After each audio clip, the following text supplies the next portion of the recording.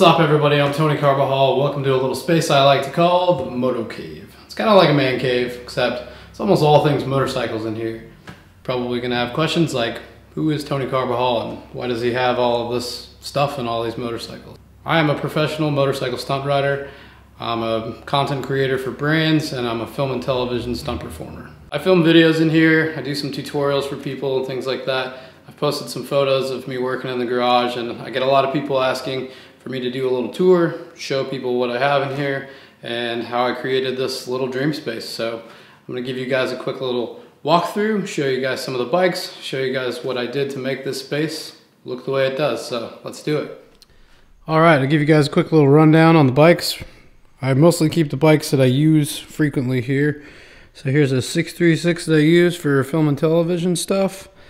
I got my Indian Scout Bobber.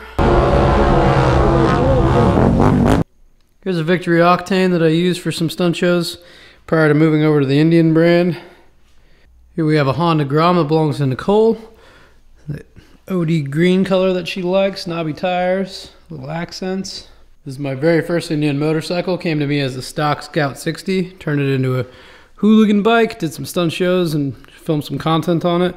You can see some of those build videos here on my channel. And of course, one of my most used and abused motorcycles, my ZX636. I use this bike for stunt shows, so it's fully equipped with a lot of parts. It's got a lot of fabrication and stuff put into it, but gets the job done.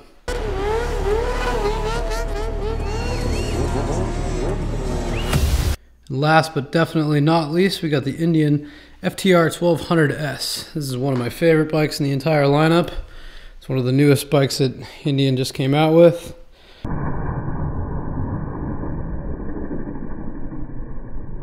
So space can get pretty limited in here. Don't like to keep things too crowded, so got another last but not least I want to show you guys how to keep in the house. Keep my Ducati Panigale V4 here in the living room slash kitchen area. I think it's a pretty houseworthy motorcycle, don't you think? All the bikes can't be ridden all the time, so we keep things on tender so that everything stays charged and batteries don't go bad. I don't want this space to feel like an old greasy shop or anything, so I actually went with some accents and I went with some snap together flooring that's pretty durable, waterproof, liquid proof. I've spilled gasoline on this stuff before, but I got this at Home Depot. It actually really helps just to transform the entire space. I really wanted to keep things organized and put away, so I got this set of new age cabinets through Costco for a pretty good deal.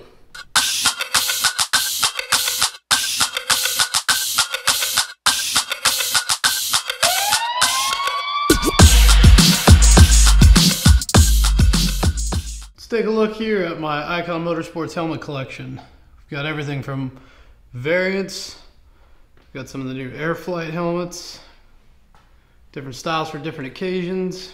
Got this new Turbo Lover helmet here, just did a video on that guy. Show you guys that later. got Airmadas and Airframe Pros.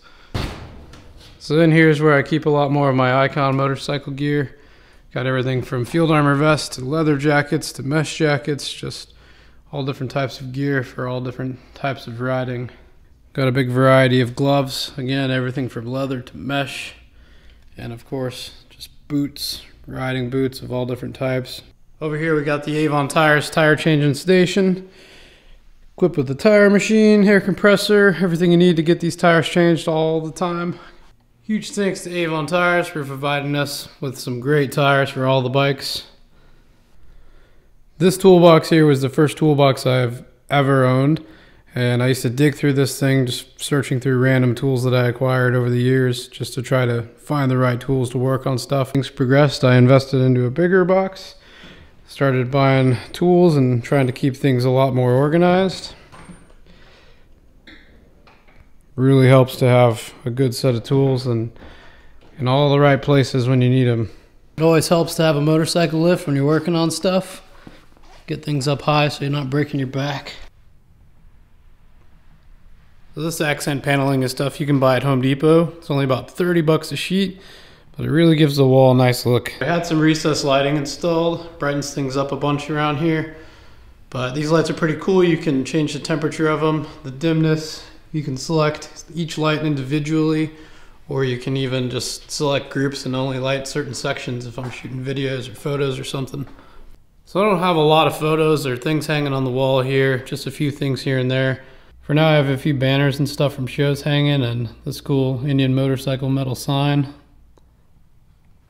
Here's one of my signature series brake rotors from CTS Moto. And of course we got the Icon mats and the Indian motorcycle rugs.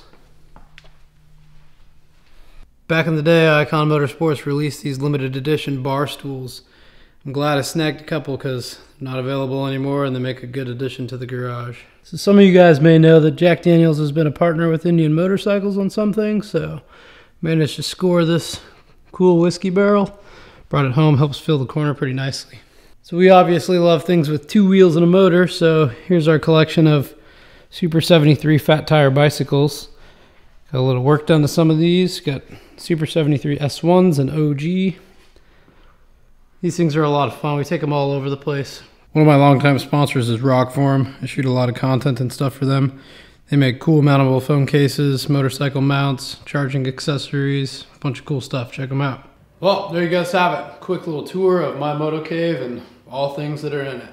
If you guys have any questions, I'd be happy to answer them. Shoot some comments down below. You can find me on Instagram at Tony Carbajal. I hope you guys will stick around, so be sure to subscribe for more videos to come. And I'm gonna leave you guys with some footage. See you next time.